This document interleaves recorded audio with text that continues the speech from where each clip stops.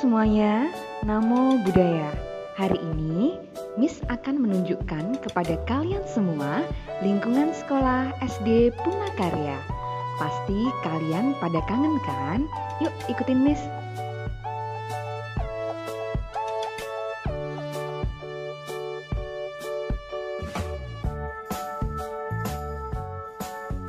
Untuk ruangan yang pertama adalah ruang kepala sekolah. Ini adalah kantornya Mr. Budi dan Mr. Ari. Oke, lanjut sekarang kita masuk di kelas berikutnya. Nah, ini adalah kelas 1. Jadi dulu yang awalnya 1A akan berubah menjadi kelas 1 ya.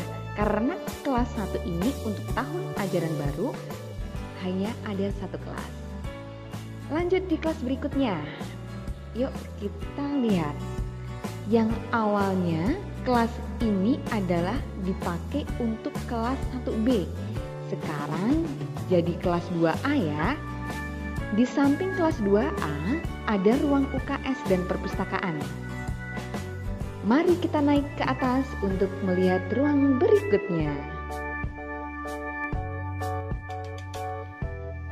Nah, untuk ruang kelas ini nanti akan menjadi ruang kelas 2B ya. Ini awalnya kelas 2A, jadi kalian perlu mengingatnya. Untuk kelas ini akan jadi kelas 3A. Awalnya kelas 2B. Oke, lanjut di berikutnya. Kalau kelas ini akan menjadi kelas 3B yang awalnya kelas 3 saja. Begitu. Nah, kalau kelas 4 masih tetap sama ya. Di samping kelas 4 ada ruang guru. Jadi kalian kalau ada keperluan dengan Miss dan Mister, kalian bisa berkunjung ke sini.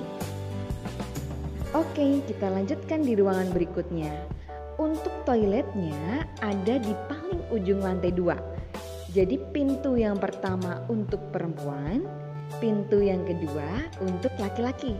Jangan sampai salah masuk ya, nanti berbahaya. Oke, kita lanjutkan untuk ke lantai 3.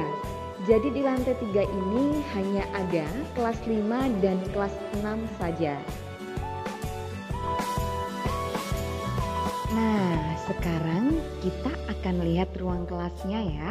Kalian pasti kangen kan? Gimana? Sudah terobati belum rindunya? Semoga bisa segera belajar di sekolah lagi, bertemu dengan guru-guru dan teman-teman. Jaga kesehatan ya dan patuhi setiap protokol kesehatan yang ada. Terima kasih semuanya. Namo Buddhaya.